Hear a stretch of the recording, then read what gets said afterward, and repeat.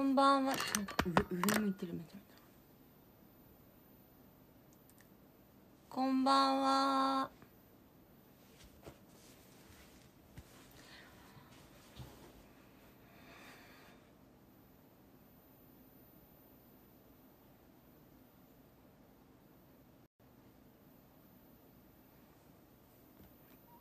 今日はお話し会でした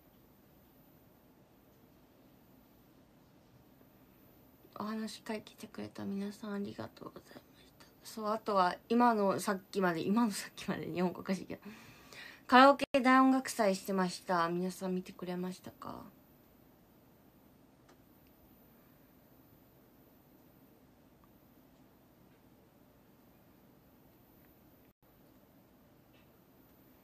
タガメ食べた。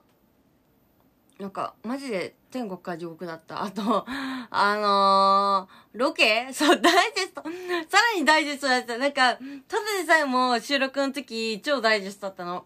収録間違えた。収録？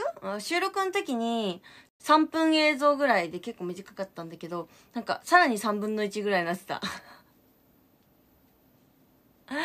でもなんか別にそんななんか取れ高ないの。マジで。本当にただ単にプライベート映像みたいな、超ホームビデオすぎて、ただ単に、うちらがご飯食べるのを楽しんでるだけだから、ご褒美ロケっていうよりも、なんか、ご褒美？カメラに喋ったりとかね、全然してないの。マジでうちらが楽しんでる、本当にホームビデオみたいな感じだったから、だから、まあまあまあ、あんなもんかな。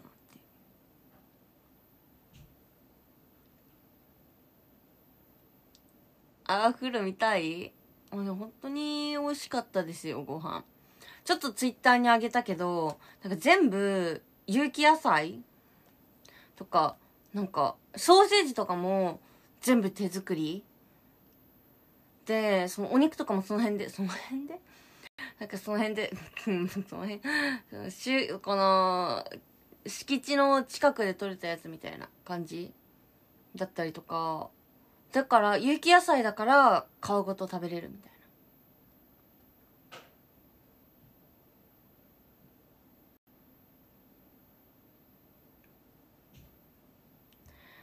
そう。マジで美味しかった。なんか本当に自分でプライベートで行こうとしたら1回5 6千円ぐらいかかる。確か。5千円ぐらいだったかな。1回5千円。まあでも全部借りれたりするんだろうけど。5000円とかかかるバーベキューだったから。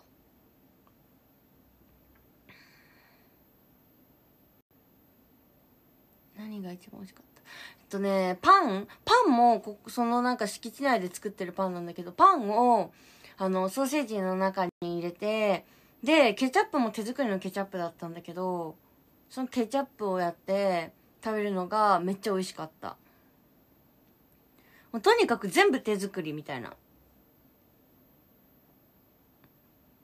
ほんと美味しかったです。お肉めちゃめちゃ美味しかったよ。あとね、あの、お魚も美味しかったし、あ、そう、手作りのホットドッグ、そう。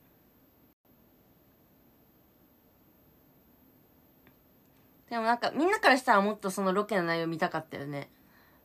それはそう思った。思ったよりめっちゃ多分さ、尺が2時間とかの尺だから、まあそうなるよなって思った。結構、そのそもそものカラオケのやつの企画とかもなんか本当にフルサイズでお届けしないじゃん。結構なんかバツッとダイジェストっぽくなってたとこもあったと思うし。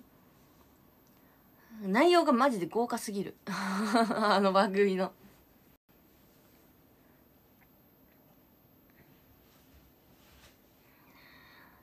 あれでも本当にいっぱい写真はね撮ったからまたちょいちょいあげたいなと思うけど。でもあんまねご飯食べてる時とかやっぱこうカメラあったりとかしたから、まあ、自分でもバシャバシャ写真は撮ってなくて。って感じだったから。そうあと水牛？水牛のモッツァレラチーズマジでやばかった。なんかモッツァレラチーズってさ、普通私が知ってちょっとゴムっぽいやつ？なんか逆に身が詰まってる感じの、なんかぐにゃってしたモッツァレラチーズとか、なんか、なんかチーズみたいなモッツァレラチーズしか知らなかったんだけど、あのモッツァレラチーズはやばかった。あめっちゃみずみずしくって、で、プチンって弾けるんだけど、なんかしっかり味は濃厚で、でも後味がこう生臭い感じがなくて、マジで美味しかった。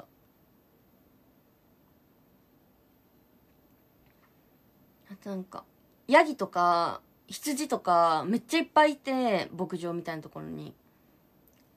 こうやって触れ合いした。触れ合いの時間もあった。多分、あの、ダイジェスト映像で映像では水牛しかいなかったんだけど、めっちゃいっぱいいろんなのいた。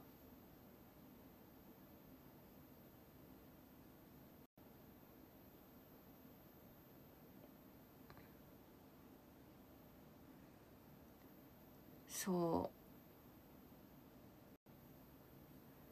う。めっちゃ楽しかった。羊とか、羊のショーンみたいな。羊のショーンってわかるかな？キャラクターの羊のショーン。みたいなやつがいた。ほんと楽しかったよ。で、それで、なんか、牧場、あの、ツイッターには載せたんだけど、写真を。あの、ソフトクリームがあって、牧場のソフトクリームってマジで美味しいじゃん？それが、本当は食べる予定なかったんだけど、元々のロケの内容に。でも、うちらが、あれが食べたい。自腹でもいいから食べたいって言ったら、番組の皆さん買ってくださった。そういうのとかさ、マジで全然映ってなかったじゃん？マジで番番組に関係ないのに、そういう風に買ってくださったりしてガチご褒美だった。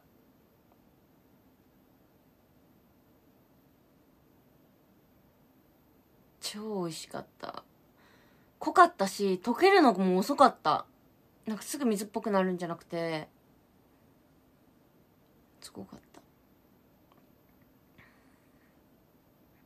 で、最後に、マジででっかい、こんなシフォンケーキもらったんですよ。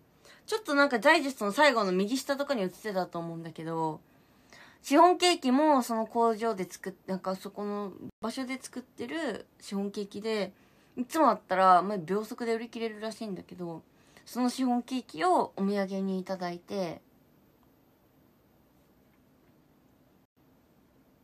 っていう。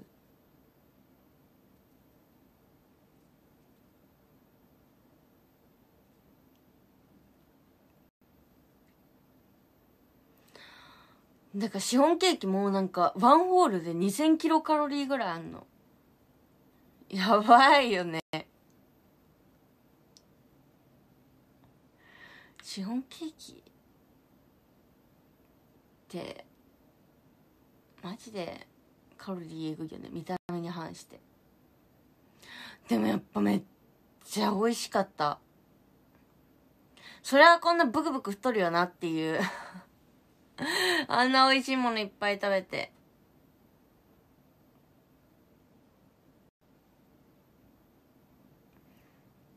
でも本当にご褒美でした。最高の。ああ、タガメ、そう。それで、今回の放送では、まあそんな感じでダイジェストがあって、優勝したご褒美があって。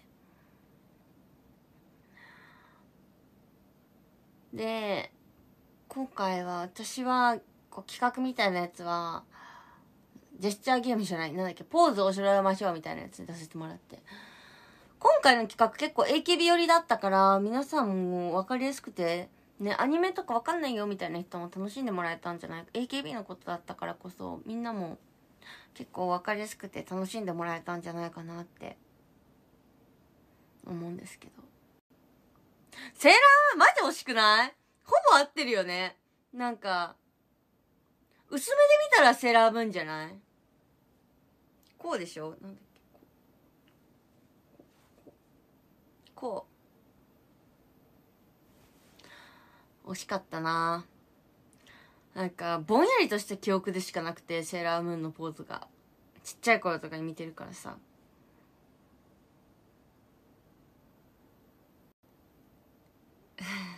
違ったこうやって美味しかった。でもさその後のさドラえもん奇跡だったよね。私と里根さんとミオンさんで人類の進化みたいな感じの。でんでんでんってなってた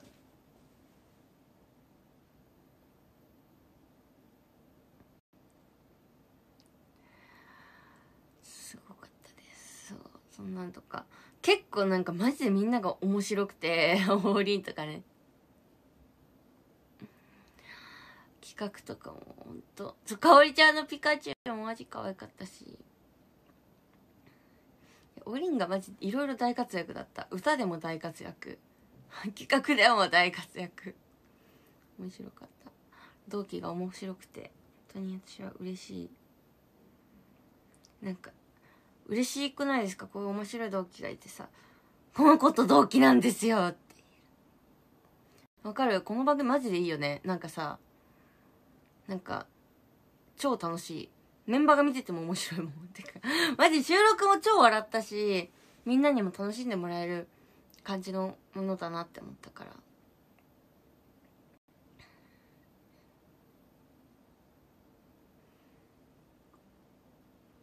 そうそうなの出てても見ててもどっちでも楽しめると思うんだ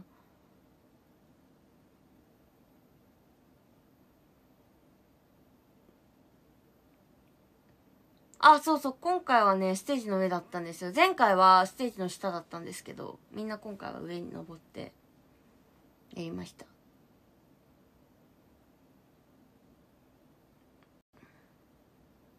夜景メイビーの振りを踊ってた、そう踊ってたりした。私ちょいちょいマジ、マジの顔して聞いたりしてた。なんか、ちょいちょいさ、超真剣に聞いてる時とかってさ、不意打ちで抜かれてる顔がやばかった、私の。あと、手がさ、こういう感じじゃなくてさ、なんか、ペンライト持ってる手だった。手がペンライト持ってる人だった。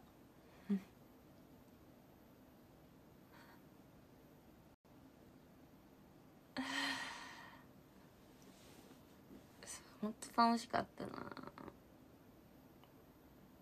なんか曲もみんなマジで面白くて。最高だったし。私はあのリサさんの「ホムラ」を歌う歌ったんですけどなんかまさかいろいろアンケートで曲書いてたんですけどまさかホムラになると思ってなくて。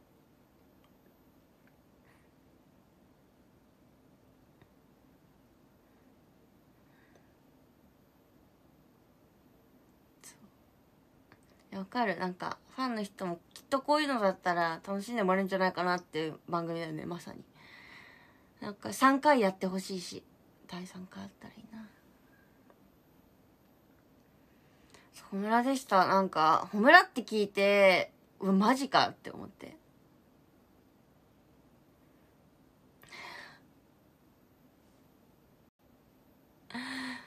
マ ジか。私の中で、も AKB の中のホムラはもうナナさんでしかないから、もうどう考えてももうナナさんのしか流れてこなくて、自分の頭の中に。そこ難しいんですよ。難しくて。で、まあでも個人的にもともと曲は好きで、なんか好きかって自分で歌ってたんですけど、なんかこう人前で歌うような、なんか感じじゃないし、そもそも自分に合ってる曲ではないから、私の声質的にそこまで力強い声が出ないから、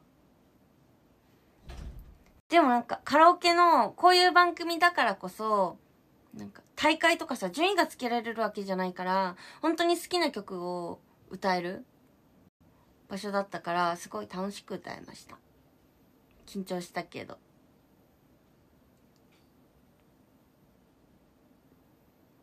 そう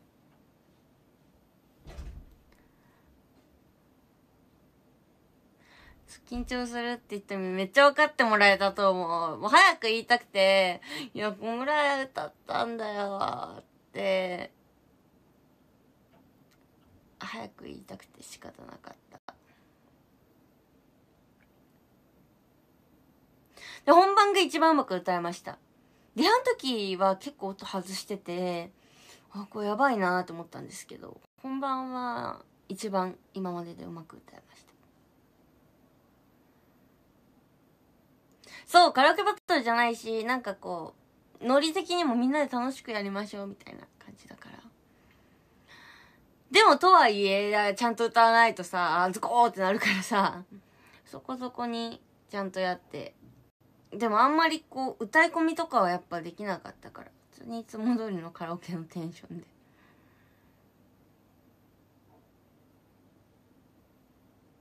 やりました。いい曲ですよね。しかもなんか、フルだったので、緊張した。尺が長くて。こんなに長尺。大サビの前とかよりすごい緊張した。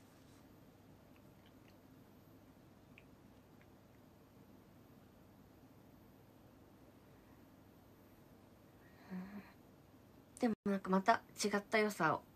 なんかこっちの村も、まあ、ナーミンらしくてよかったねって、思ってもらえてたらいいなと思います。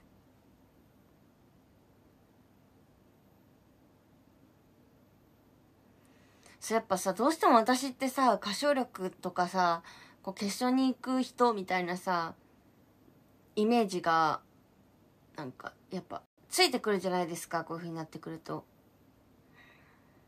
だから、その分なんか、年々増してく、このプレッシャーが。歌えない曲はないよね、みたいなさ。歌えない曲もいっぱいあるんですよ。こう、キーが合ってないとかさ。こういう曲調すごい自分に合わないとかさ。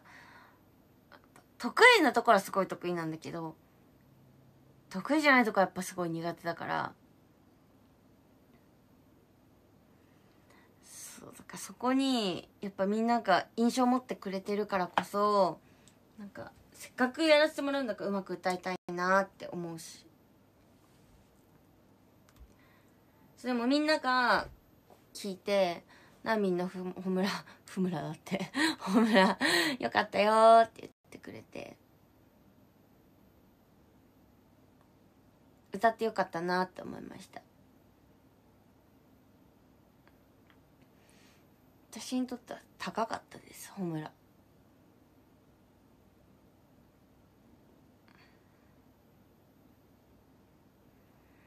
ほんと楽しい番組にまた出させていただけてすごく嬉しかったし、また番組に出たいなーって思いました。そう、ナミ推しに、こう、いろんな歌を聴いてもらえるのすんごい嬉しいから、見てくれてありがとうっていう気持ちです。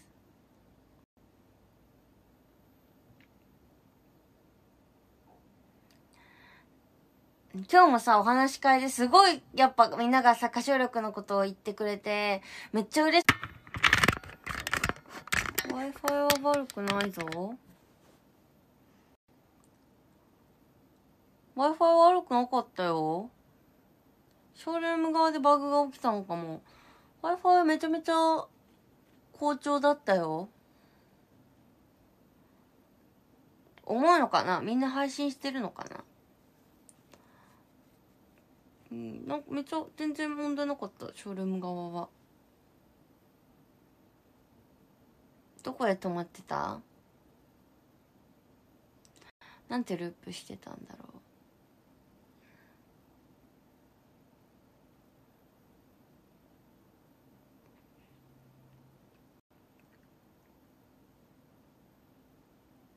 皆さんが歌唱力の話をたくさん。ああ今日お話し会でか。あれそんなとこで止まってたんだ。あそう。今日お話し会でもたくさんこう歌唱力に行くよとかあのテレビでも見るよとか言ってくれる人がいっぱいいて、それだけ楽しみにしてくれてる人がいるのがめちゃめちゃ嬉しいなって思ったし、すごくその見に行くよとか楽しみにしてるよっていうのが私のパワーになったから、みんなの期待に応えられるように頑張りたいなってすごく思いました。本当になんか自分が思ってる以上に歌唱力についてみんなってすごい楽しみにしてくれてるんだなってなんかこう私の一人走りなんじゃなくてみんなも同じようにこう楽しみにしてくれてるっていうのをこの2日間ですごい知って嬉しかったです。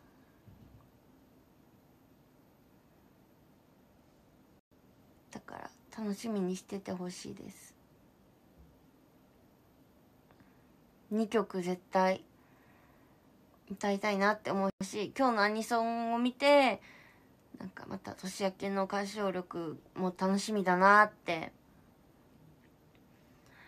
思ってもらえてたら嬉しいなと思います。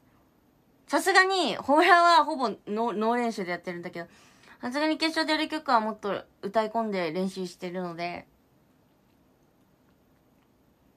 もうちょっとガチで歌が聴けると思いますあれはちょっと今日みたいなやつはゆるっとカラオケって感じだけど。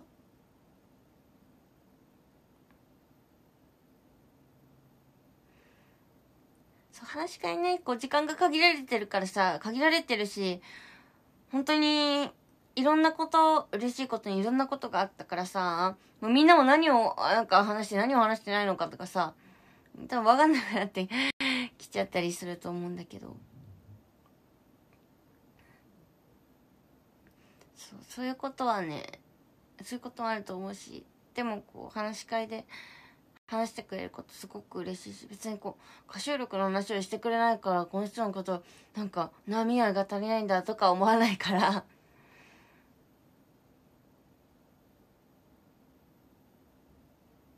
そうみんながその時に一番話したい話をしてほしいなって思うしそれをね伝えてくれるのがすごく嬉しいので。昨日とかサンタさん来てたからみんながサンタさん褒めてくれてめっちゃ嬉しかったし。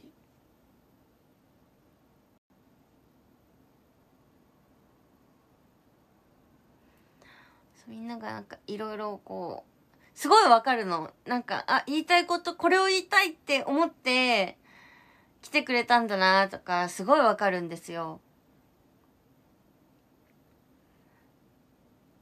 とか、なんか逆に、こう、ノープランの人も、ノープランでだったとしても、私がこうやってなんか、ベラベラベラベラって話し始めたら、なんかこう、ノリよく返してくれたりとかするし、そうでさ、話かぶった時にそう、なんかめ、みんなめっちゃ譲ってくれるんだよね。私なんてさ、こんな一方的にいつでもさ、喋れるからさ、私としてはみんながせっかくさ、みんなの声を聞ける機会やからさ、もうなんか話かぶった時さ、みんなの話聞きたいと思うみんな優しすぎて私に話譲ってくれるんだよね。で、私に話譲ったらさ、もう影響にこうやって喋っちゃうからさ、譲らなくていいよっていつも思っちゃう。でもさ、譲らなくていいよって言ってこうやってやってる時間もさ、めっちゃもったいないじゃん。なんか、あ、じゃあもう私が話した方がさ、って思っちゃうから、もう譲ってくれたらそのまま話しちゃうんだけど、いつも思う。結構いる。みんな譲ってくれる。ああ、そうなんだ。みんな私の話を聞きたいと思うんだ。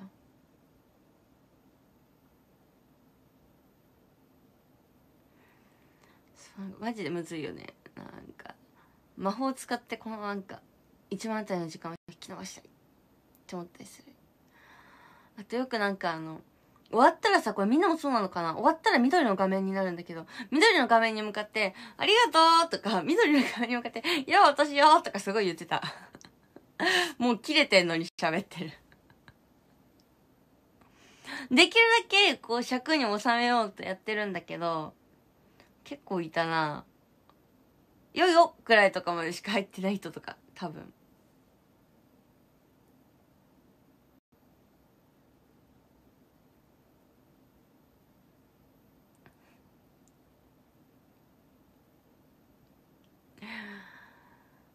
そう。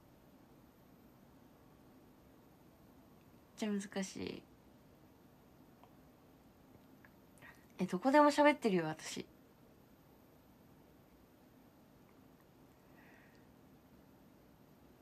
ないよ、私は。そう、だからできるだけ尺にちゃんと埋めようとしてるの。で、埋ま、埋まる時もちゃんとあるんだけど、全然ね。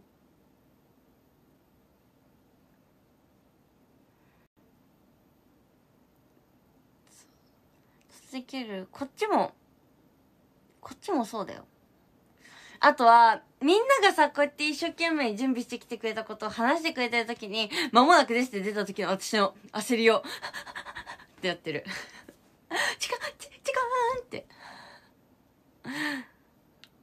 なるけど、でもこっちもこっちでギリギリまで聞きたいから、もうこれは、なんか、一文字でも多く、直前まで聞いたるぞって思って。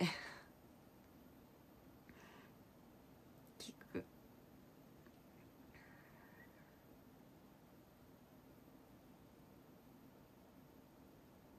あ、絶対そう。私がさ、全然さ、私が逆に時間気づかずペラペラ喋っててさ、私が喋ってる途中にブチって思いっきり切れてる時もね、結構あると思う。みんながさ、もしブチって切れちゃったことはそう、波メールとかさ、いろんなとこでさ、届けられるじゃんでもさ、私がさ、ブチってさ、途中喋ってる時に切れた時ってさ、なんか、言えないじゃん個人的に、こう、出せないじゃん。今切れちゃった話とかは。だからめっちゃ申し訳ないなって思う。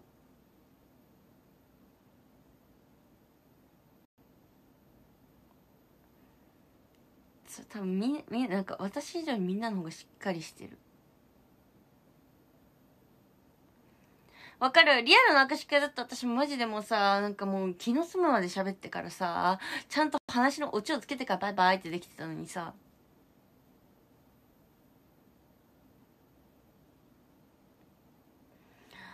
マジで、オンラインお話会は、ほんとなんか、シビア。ブチッと切ってくるから。ね現地でお話し会したい。なんかさ、まあ、握手はね、ちょっとさ、自分がさ、もしさ、なっててさ、みんなになんかこう大拡散したらちょっとやばいからさ、なんかそういう意味でもちょっとなんか、怖いなっていうか、申し訳ないなって思うからあれだけど、でもなんか、対面でお話しするだけでもさ全然違くない？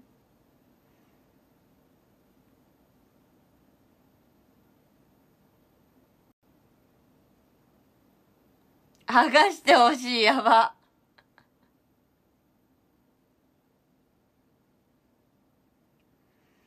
現地でやりたいよね。そうなんだよね。みんなが今度は密になっちゃうからさ。でもどうやってやってるの？その、他のグループさんとかさ、そう対面でやってるじゃん？あれはなんで密になってないの？あれ結局密になってんのかな？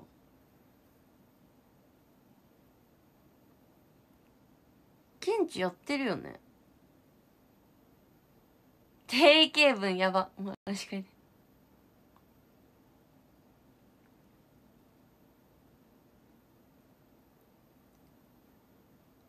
え、スケリさんって、え、オンラインが逆にないんだ。え、いいな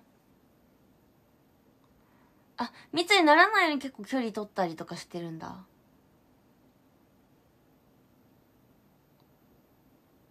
へえ。これで何が分かったかというと、これを知っている皆さんが、ああ、他のグループの言ってるんだって、バレています、皆さん。これ、これを言った皆さん。あ、他の言ってるんだ。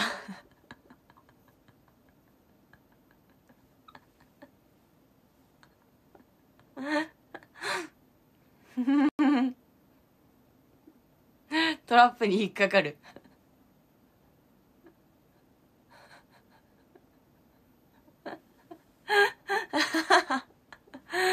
さん県に確かに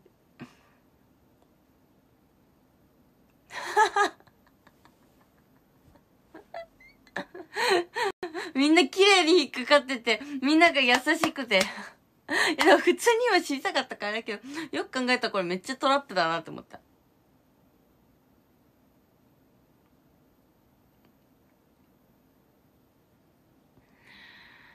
お話し会もサイン会も、どっちもあったら確かにね。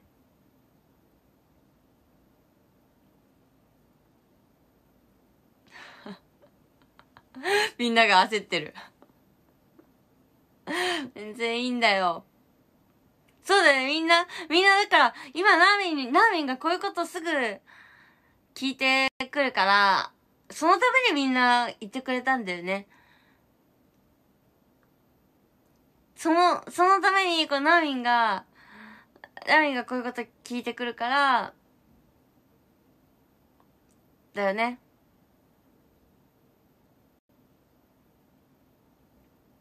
そうだよね。ね仲間から情報を集めたんだよね。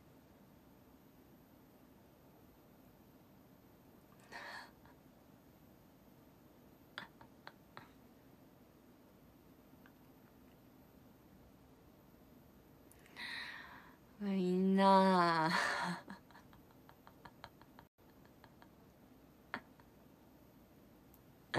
マジ面白かった今の でもガチで普通にさ、ネットからとかでさ、なんか友達から聞いて知ってる人もいそう。言ってないけど。いや、マジでやりたい、現地は。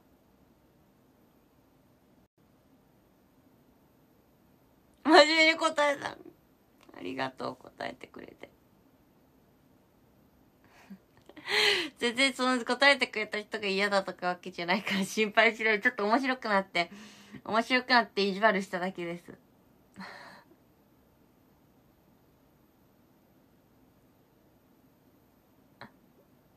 なんか全然みんな気にしないでみんなのこと嫌いにならないから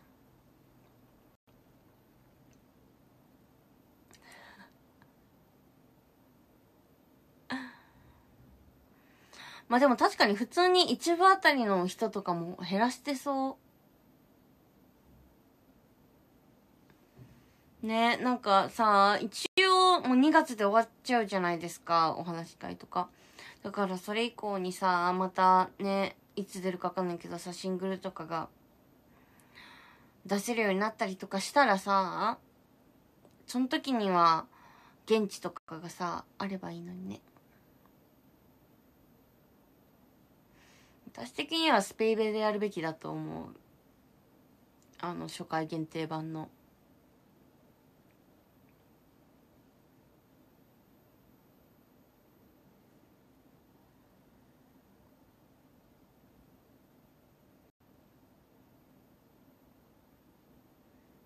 あ減らして部数増やしてるんだ。なるほどね。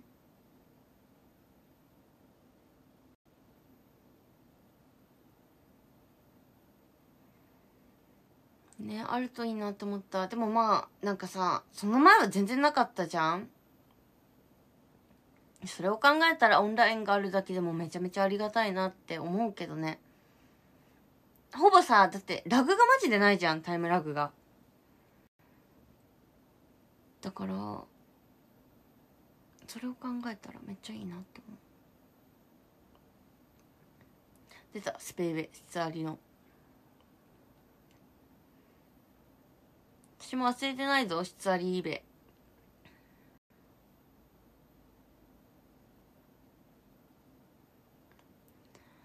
そう、特に住んでる人とかさ、合間に予定ある人とかさ、あこう仕事の合間にとか、結構オンラインが便利っていう人もいるからさ。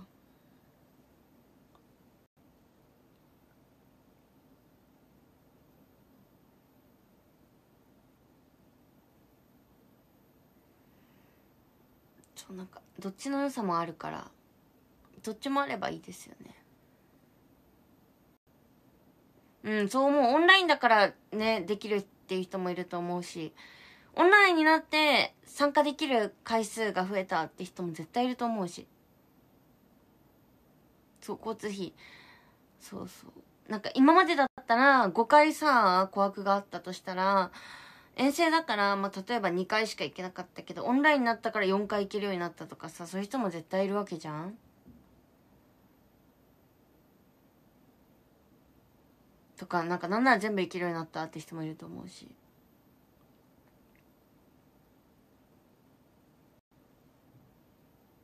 あ逆の人もいると思うけどオンラインだからって人もいる。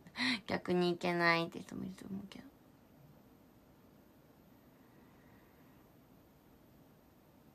だからそういう意味も考えると両方の意味でどっちもあればいいのになって思う。やっぱ対面の方がいいと思う人も絶対いると思うし。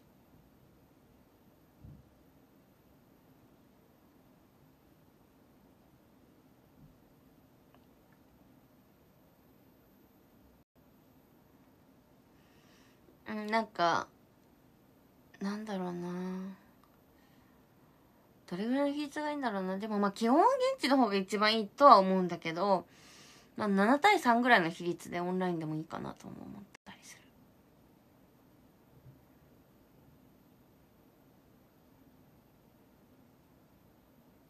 あとは全悪したい。うん、これもめちゃめちゃ先の話だと思うけど、なかなかできないとは思うけど、やっぱ全悪したいなって思う。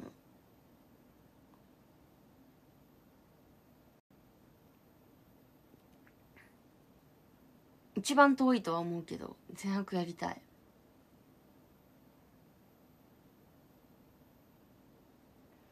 ああそう現地だったらさトライのレーン並んでた人が来てくれたりとかそういうのもあったりするからさそういうのも含めて現地いいなって自分的にもね。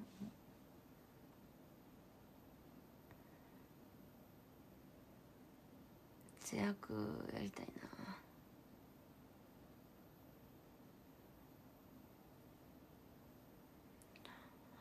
そう、ジャンクとかだったらさ、なんかこう、ペアレーンとかになったりするじゃん。とか、あと、ライブがあって、ご飯目当て違うよ。まあ確かに差し入れとかめちゃめちゃ美味しいけど、で、なんかワクワクする。新幹線乗ったりとかさ、飛行機乗ったりしてさ、朝の飛行機とかさ、新幹線こうやって8時めちゃ見てさ、あの、あのなんか、やつがすごい懐かしいんですよね。みんなもなんかこう一緒にさ、その現地の人はさ、喜んでくれるしさ、一緒に遠征してくれる人も遠征してくれる人でさ、その現地のなんか、名産物とか食べられて、楽しんだりしてるのを見るのも好きだし。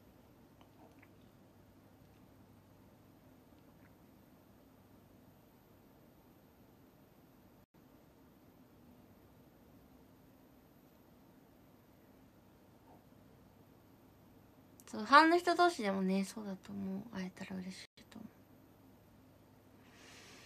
全然地方行ってないです。本当に新幹線とか飛行機にマジで乗らなくなった。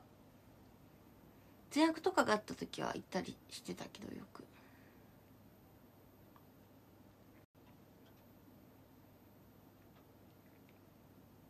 ごまさば食べたいなうん食べたいごまさば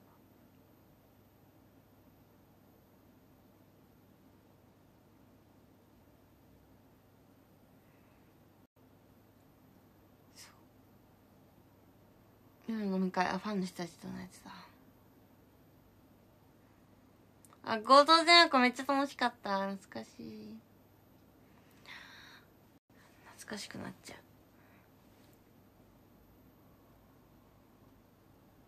そうだってもう2年とか経つわけじゃないですか。そうなってから。恐ろしいよね。怖い怖い。そんな経ってるんだ。楽しかったのにな。全白やりたいです。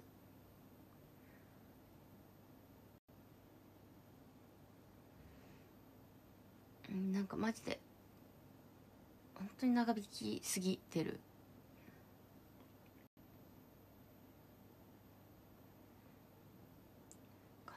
でもちょっと怪しいもんね。また結構怖いから12月本当にイベントたくさんさせてもらうからそれがもう吹き飛ばないといいなってって本当に思います。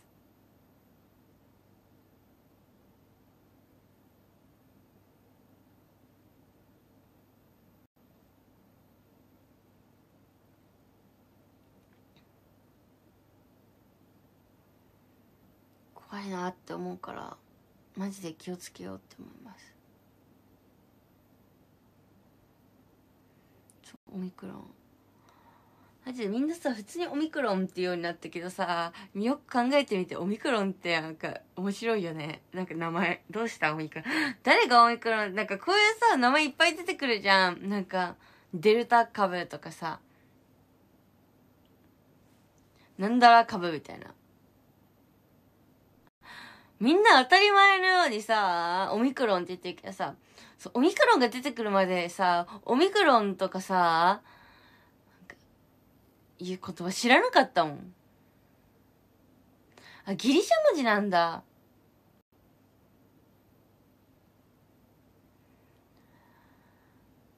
なんか、知らない言葉をめっちゃ覚えるようになった。密ですとかはさ、日常で使わなかったじゃん。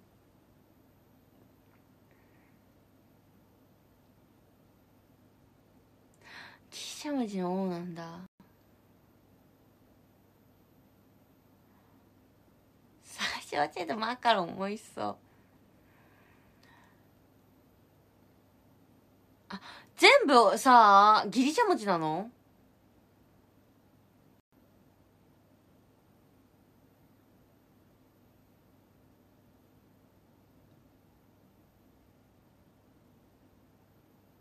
えアルファ株とかあった？その時代。アルファ、アルファ、アルファ株だった時代は、もはやコロナと呼ばれてたのか。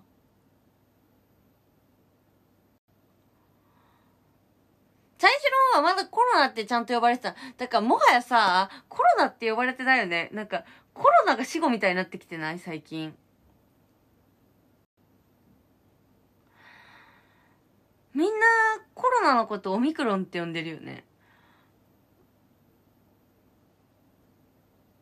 だってほら、ベータとかの時はさ、まだ絶対あるさ、コロナって言ってたよ。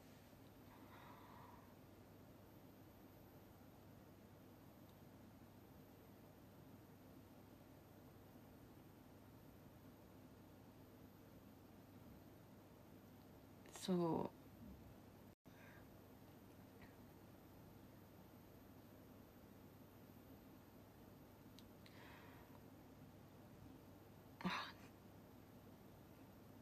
アルファ、ベータ、ガンマ、デルタ、え？待って。アルファ、ベータ、ベータ？え？ゲストル倒壊しそう。わ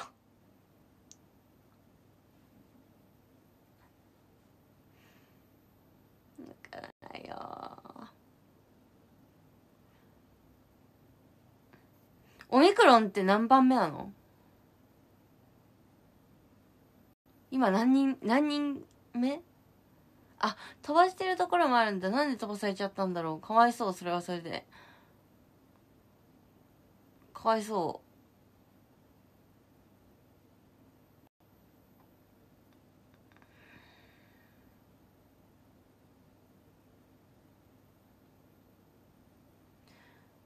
15番目？そんな言ってるんだ。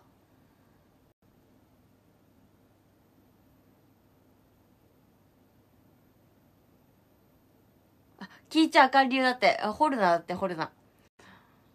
ナミそこまでだって言ってくれてる。分かった、掘らないよ。そこまで深いことは聞かないよ。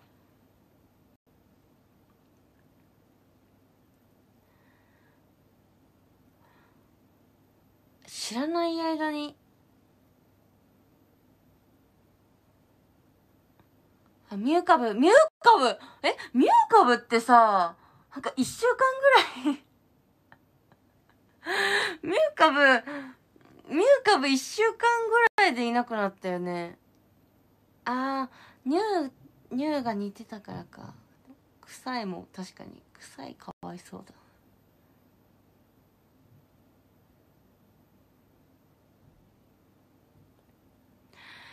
確かにこれで最後までいっちゃったらさ、嫌だな。もう止まってほしい。もういいよオミクロン。オミクロンのことを覚えたから。お前のことを覚えたからな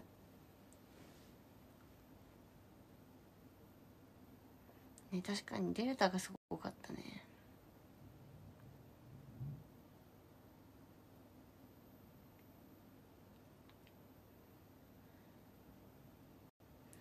いや、そうあってほしいよ。そのうちさ、普通の風邪ぐらいまで弱くなってくれてさ、なんか感染力も低くなって、ぐらいまで下がったら一番いいよね。で今の時期新型インフルとかも流行るからみんな気をつけようね。みんなマスクするようになってさ、新型インフルエンザのこと忘れ去ってるけどさ、あれもマジでマスクのおかげで多分減ってるけどさ、普通にさ、今ぐらいの時期って、インフル超流行る時期だからさ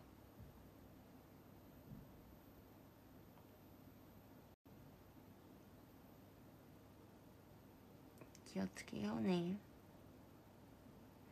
そうインフルのさ怖さをさあの忘れかけてるけどインフルも普通にやばいじゃん。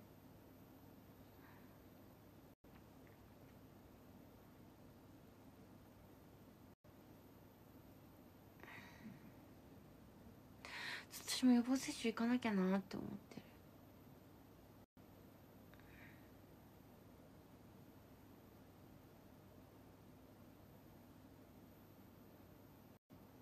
ああ花粉症ねえ。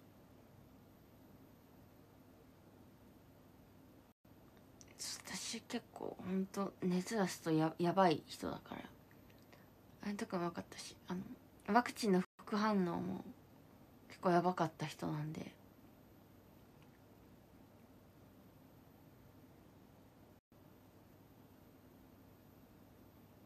気をつけようね。本当今の時期今日とかマジでさ寒すぎて凍りつくかと思ったなんか。足凍るかと思った。今日あのスカートインスタに上げてるんですけどスカートなんですけどあの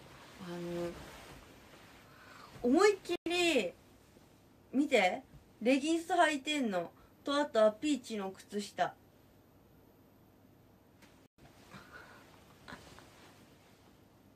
見えた？寒すぎて。もう思いっきって。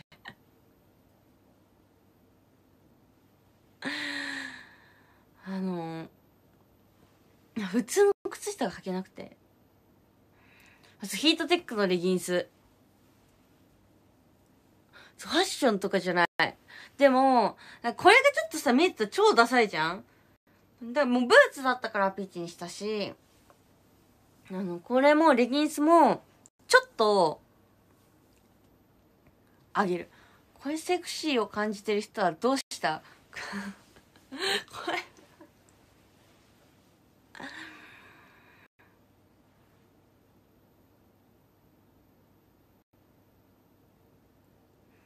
スカート脱いだら、あ、超もじもじくんだよ。超もじもじくん。私は、今日、あ完全にもじもじくん完成する。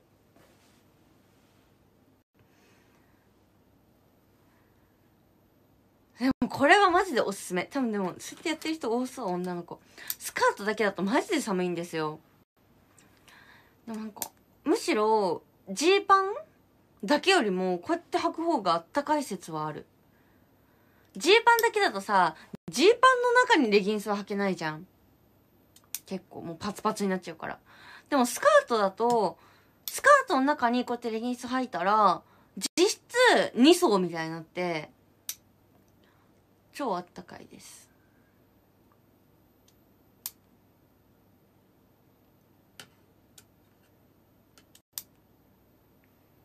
レギンスと上にか衣装はいつも寒いよ。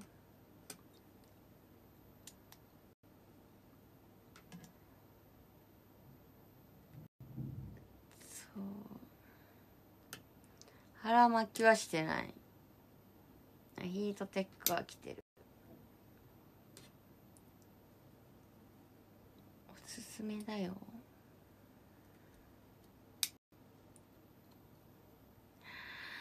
これはだからバレないのなんか一見普通になんかスカート履いてる人にしか見えないんだけど、よくなんか、えへへへみたいな感じ。いや、ちゃんと中に履いてるから、そんな言うて寒くないんだよね、みたいな。でもそれでも寒かったけどね、普通に。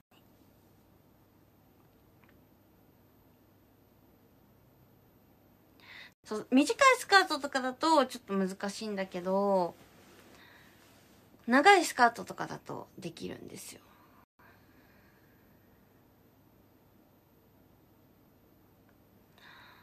腰のコルセットはねだいぶ短時間にしなってきましたよ。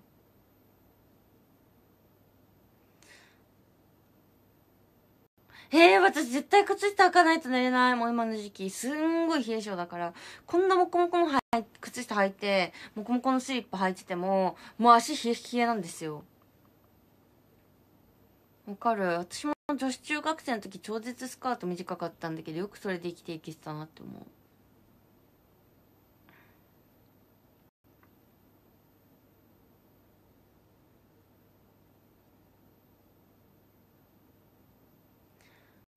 超末端冷え性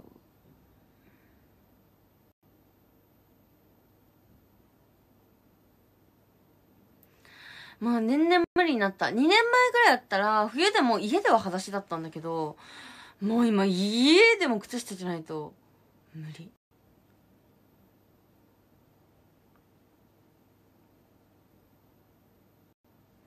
お風呂湯船に浸かってもマジで無理。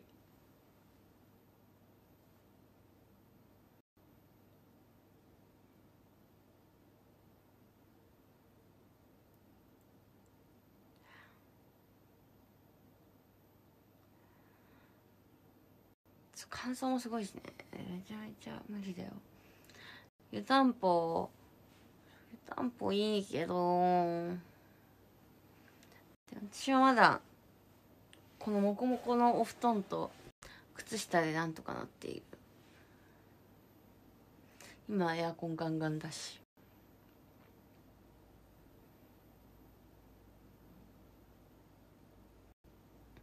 え、私も最初はそうだったよ。靴下ついてると、なんか、え、気持ち悪くて、裸足の感覚じゃないと寝れないって思ったんだけど、なんか、だんだんそれが寒さの限界で無理になってきた。だんだんもう寒くて、そんな言うこと言ってらん、なんか、逆に寝れなくなっちゃって。普通の靴下じゃなくて、モコモコの靴下履きますよ。だから、あんま締め付けられてる感じもなくて。足に布団がまとわりついてるような感覚。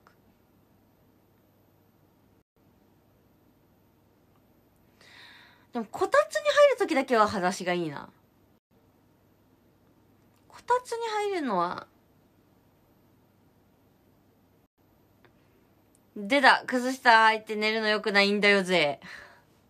寝れないんじゃ。そうしないと寝れないんじゃ。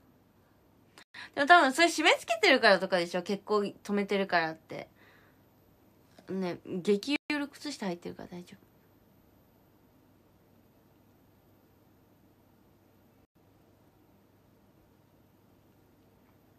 暖房絶対止める喉やられるから。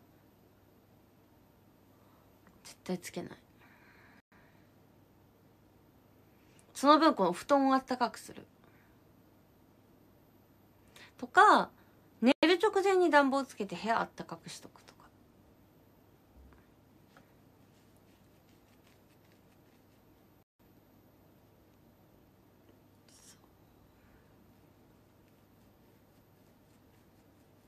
湯たんぽだって毛飛ばしちゃうじゃん。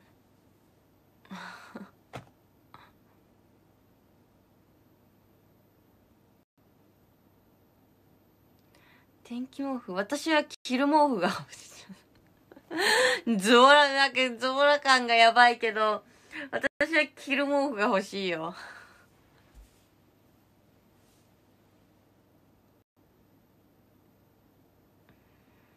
超あったかそう着る毛布。あ布団あったまるよ。布団乾燥機でしょ。私の家にもあるよ。布団乾燥機でもちょっと面倒くさくてあんまやんないんだけど。1月2月とかになったらさすがに玄関を迎えて布団乾燥機つけると思うなんなら今日とかもねちょっと迷ってるもう布団乾燥機の季節かなって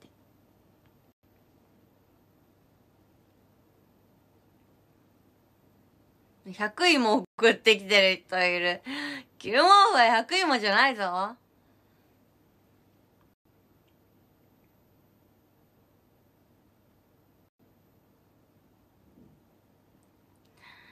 キルモフ、あの、楽天とか、そんなの売ってますよ。ちゃんと可愛いんだから。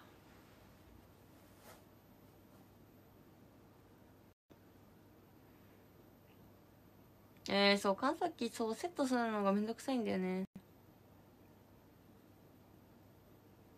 あ、今、そっか、再放送してんのか。カラオケ。波野美里さん。そっか。再放そのまま再放送そしたら前回見れてない人とかも見れてそう。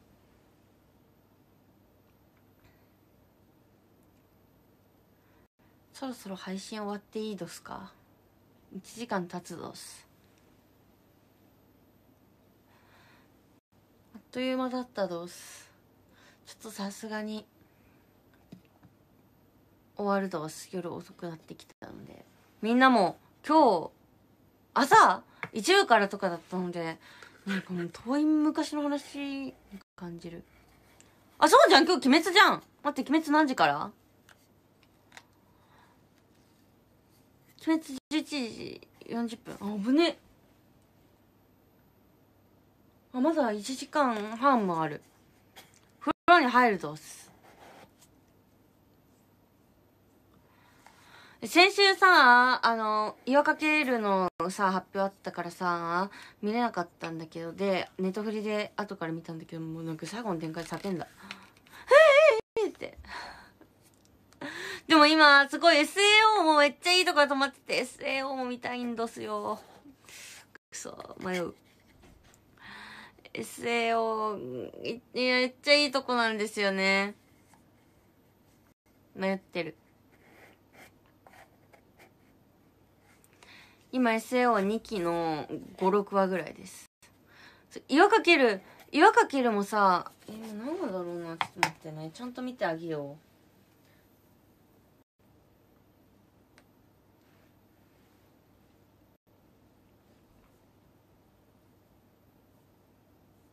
さっき1話分見たんだよね。ああ今2話2期の5話まで見終わってる。それよかけるもさみんなアニメ見てくれてる人もちょいちょい増えてきて嬉しいです。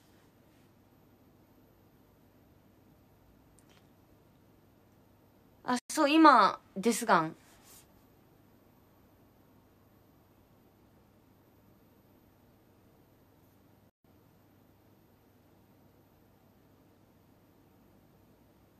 今デスガンの話。岩かけるはぜひ見てほしいです。でもなんかさ私さチラッとさなんか再放送みたい見たんだけど来年から。テレビで。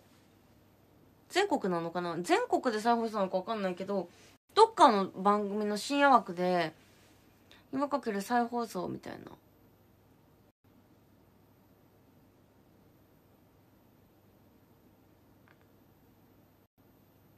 見かけたよ。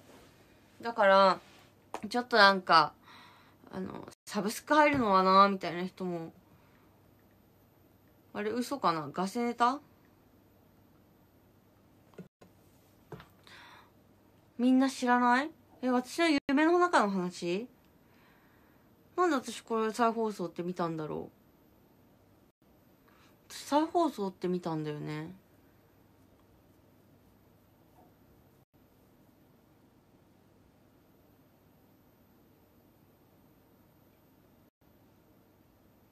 どこで見たんだろうな。どこで見たのか忘れたけど。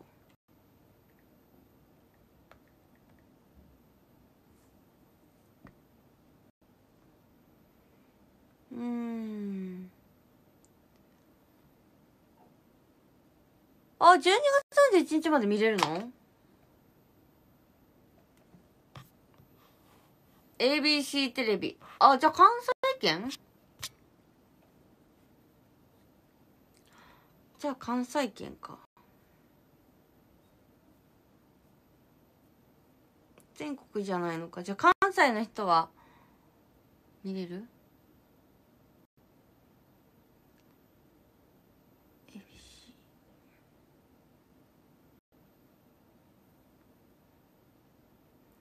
この間お世話になった ABC ABC さん。懐かしい。めちゃめちゃ懐かしい。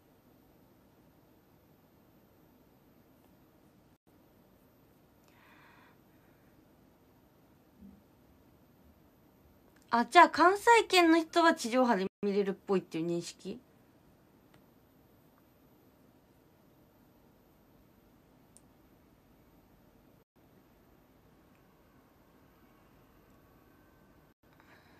テレ朝系。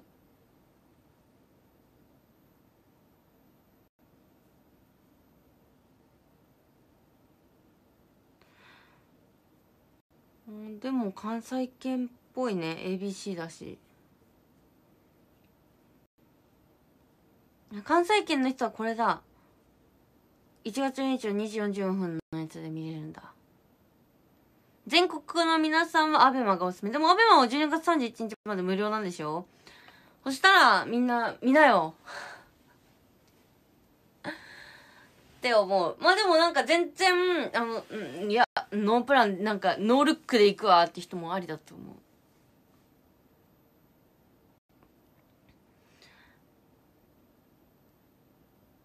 ちょっと見てみてなんかメンバーに当てはめてみてもなんかちょっとピンとこなかったら見なくて全然いいと思うけど。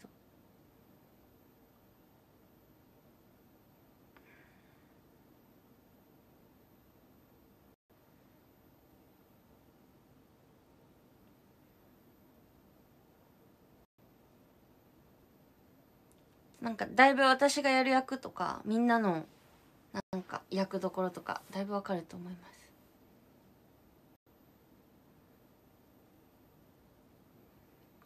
そうなんですよ。このみちゃんにすごい当たりが結構強い役で。普段普段そんな当たり方しないからどうなるんだどうなるんだってもうやるんですけど。そういうところが見えますね。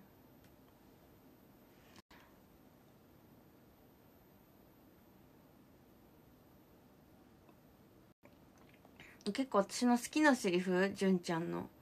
とかもあったりするから。それが舞台でも残ってるといいなって思う。あかおりちゃんがくるくるするようになった？かおりちゃんさロック画面もさもうさくるさんねちゃんなんだよね。マジで可愛い意識高めようと思ってって言ってロック画面がくるさんねちゃんだった。楽しみだよね。じゃあわけでギフトいきます。え時市さんマシューさん結婚して嫌だ。えー、純ちゃん雪だるまさん時代さん結婚して嫌だ。みゃおいさんしょういちさんひろっぴさん結婚して嫌だ。まさしさんトントン大音楽堂さん結婚して嫌だ。よっしーさん正一さん、梅っちさん、72リアムさん、ペディアさん、ヒロッピさん、星がいっぱいだーさん、デーマンさん結婚して嫌だ。クラさん。なんだこれ。何この。読めない。この漢字が私には読めない。キツネ猫。なんだこれ。この1個目が読めない。ばいばいばばいどんどんいっちゃう。どんどんいっちゃう。あなんか感じ違うこれじゃない。え、っと。ちょっとマジで字が汚い。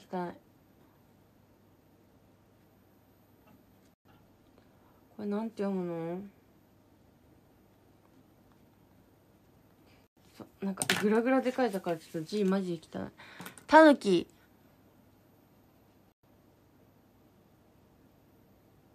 これでタヌキって読むの？違うよね。タヌキキツネ猫さん。すごいみんな分かってた。ナーミンが何が読めていないのかが。すごい、さすがだね、みんな。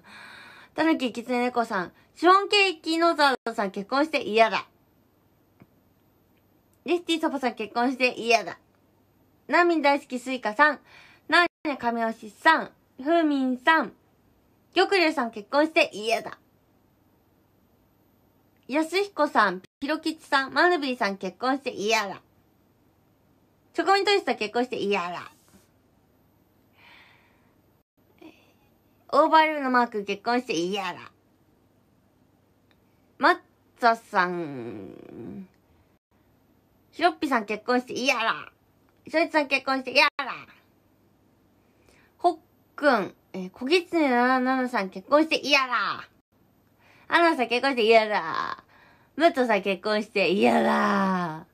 コバーンさん、ニックネームさん結婚して、いや、え、あれ？さっきも分かった？言ってねえか。あれ言ってねえですか？言ってないどす？言ったどすか？うん。まあ、どっちみち、嫌だ。ズッキーと結婚しなさい。この人、ズッキーのアバター。新規新次さん、島次郎さん。正一さん結婚して嫌だ。ワックさん結婚して嫌だ。玉竜さん、すぐるさん、コウジッキーさん結婚して嫌だ。主任さん結婚して嫌だ。金ちゃん。佐藤道弘さん、ESR さん。正一さん結婚して嫌だ。野上くん結婚して嫌だ。ほくん結婚して嫌だ。すぐるさん、しゅうさん結婚して嫌だ。ナーミンが大好きなしんくん、ルミちゃん、上村さん結婚して嫌だ。ポッケさん結婚して嫌だ。まさしさん結婚して嫌だ。遠藤さん、きなちゃん、ナーミンが大好きなしんくん、なんだかな。あれ佐藤道弘さん、りのちゃんかな。りのちゃん、はいさん、結婚して嫌だ。みゃおいさん、やーこさん、あずまんさん、とろろさん結婚して嫌だ。新規新次さん、メチレンマロンさん結婚して無理 ミッシェル・ジョーダンさん、結婚して。冗談って言ってるから、冗談なんでしょバイバ ーイ。ヒュンチョル・ジェオンさん、ありがとう。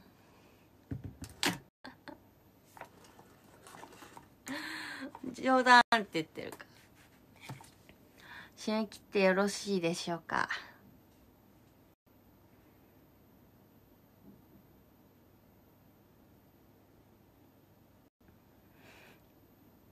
傷ついてる人。傷つく人は投げないのが一番だよ。投げてはダメだよ。傷、なんかちょっと特殊な人だけ投げてください、これは。これはなんか特殊な体勢がある人のみ投げるべきだと思う。なんか、私だったら投げないよ。みんななんか特殊な、なんか、そう。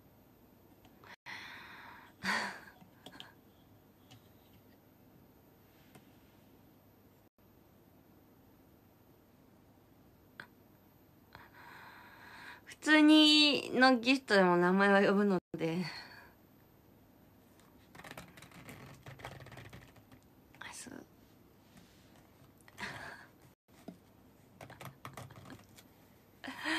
ランキングいきます。13位オーバーレブのマー君、12位ホックン、11位ヒロッピさん、10位ムートンさん、9位トントン大音楽堂さん、8位スぐるさん、7位、ナーニャ神吉、ナミン2021年お疲れ様さん、6位、まさし、いつもそのつもりではないけど、ノリで結婚して投げてます。やだと言われた人。5位、雪だるまさん、4位、ときちさん、3位、チョコミントリスさん、2位、レスティサボさん、1位が玉竜さんです。ありがとうございます。それではキャッチフレーズして終わりたいと思います。あなたのハートを吸引したい。いつもは全力、ナーミー。ありがとうございました。バイバイ。